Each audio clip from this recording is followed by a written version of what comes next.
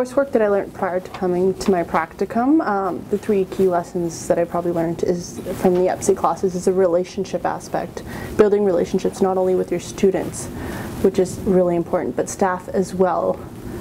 The second thing was my inquiry project was involving not only extrovert students, students with similar personalities like myself, but also those introvert students. How can I get them involved in classroom in the class? What kind of activities can I get to get them engaged?